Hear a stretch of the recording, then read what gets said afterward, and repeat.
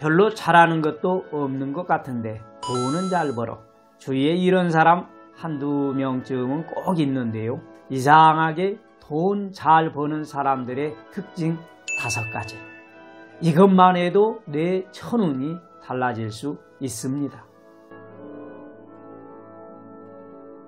여러분들 안녕하세요. 성남분당 보은철학원장 역술가 보은입니다. 인생을 살아가다 보면 돈에 대한 고민을 안 할래야 안 할 수가 없죠. 제가 오랜 세월 동안 보은철학원을 운영하면서 수많은 사람들을 만났는데 그중 돈이나 재물운에 대한 고민도 정말 많이 들었습니다. 아무래도 먹고 사는 것과 직접적으로 연결되는 문제이기 때문에 많은 사람들이 돈 때문에 고민이 많은 것 같은데요. 그렇다면 어떻게 하면 나의 재물운이 열릴 수 있을까? 많이들 궁금하시죠?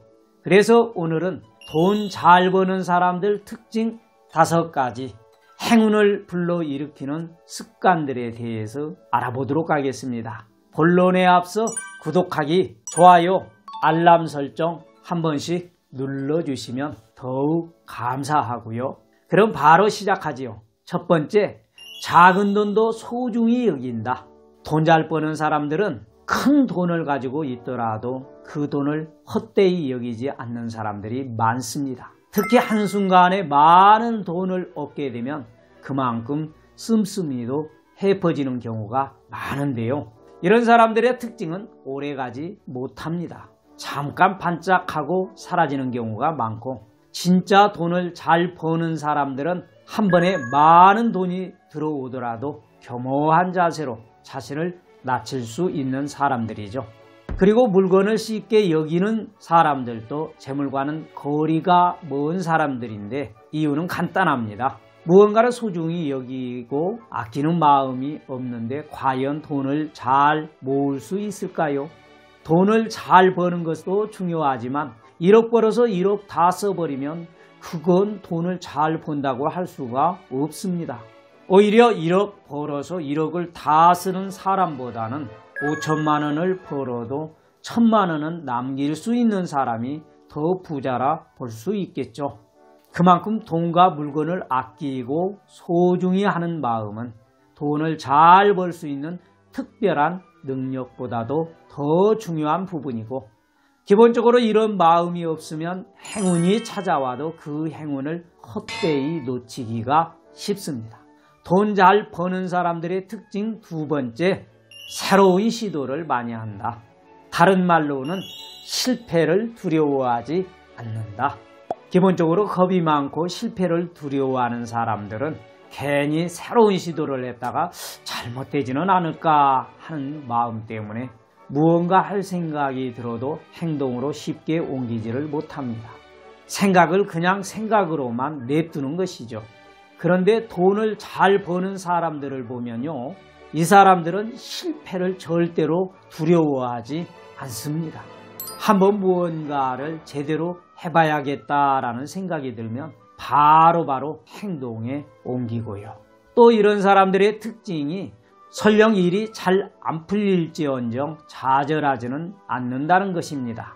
오히려 실패를 발판 삼아 새로운 시도를 끊임없이 하는데요. 이럴 때가 바로 진짜 내 행운이 열리는 시점입니다. 개운이라고 하죠. 행운은 한두 번은 우연으로 찾아와 줄 수는 있는데 그 한두 번의 기회를 놓치게 되면 언제 다시 찾아올 줄 모르는 존재입니다. 그럴 때는 내 행운은 내가 직접 찾아야 하는데 아무것도 하지 않는 사람이 과연 이 행운을 잡을 수 있을까요? 무언가를 하겠다는 의지는 잠들어 있는 재물운을 깨우는 가장 좋은 방법입니다. 한마디로 실행력이 뛰어나고 새로운 시도를 많이 하는 사람이 행운과 재물운을 가지고 있을 가능성이 높은 것이죠. 돈을 잘 버는 사람들의 세 번째 특징은 과거가 아닌 미래를 생각한다인데요. 간혹 그런 분들이 있죠.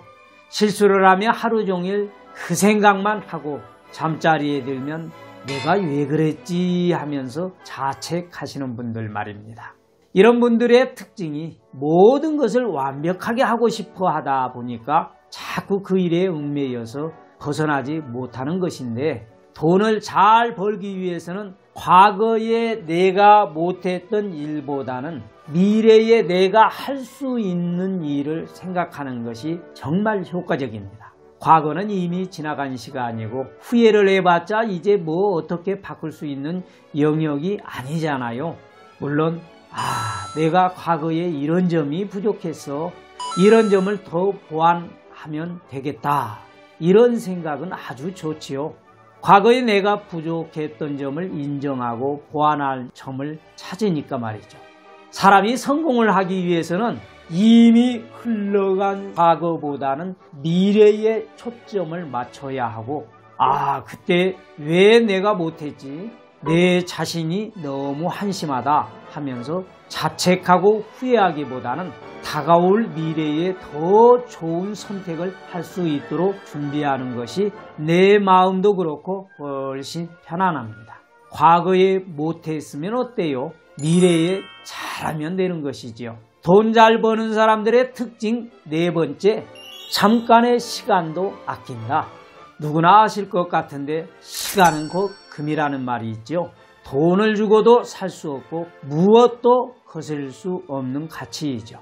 옛날에 진시 왕제가 전 세계를 뒤지며 불로초를 찾아다니지만 결국 50도 채 못 채우고 하늘나라로 떠나버린 것처럼 시간은 잡을래야 잡을 수가 없는 존재인데요. 그렇기 때문에 우리는 한정된 시간 속에서 최대한 많은 것을 해보고 많은 것을 이루어내야 합니다. 성공한 사람들을 보면 하루 일정표가 까만 글씨로 아주 빽빽하게 적혀 있습니다. 저만 해도 유튜브보다 철학원이다 하면서 하루 일정을 아주 바쁘게 보내고 있는데 하루를 계획적으로 보내는 일은 처음에는 어려울 수 있어도 적응이 되면 누구나 할 수 있는 일입니다. 그리고 여러분들 하루에 TV 보는 시간, 핸드폰 하는 시간, 이런 짜투리 시간들을 모으고 모으면 생각보다 하루가 훨씬 길다는 것을 알 수 있어요. 그만큼 생각보다 사람들이 허무하게 날리는 시간이 많다는 것이죠. 하루에 핸드폰 하는 시간 조금 줄이고 쉬는 시간 조금 줄이면 뭐라도 하나를 더 할 수 있을 텐데 그 하나가 정말 인생을 바꾸는 기회일 수도 있는 일이 아니겠습니까? 마지막 돈 잘 버는 사람들의 특징 다섯 번째 인내심이 강하고 꾸준하다. 말로는 굉장히 쉬워 보이지만 막상 주변에서는 거의 찾아보기가 힘든 경우인데요. 대부분의 사람들을 보면 작심삼일 초반에는 열정과 에너지가 넘치는데 그 열정이 얼마 못 가더라고요. 이게 참 문제인 게 행운이 열릴 때는 문처럼 천천히 열리지 한 번에 활짝 열리는 것은 아니거든요.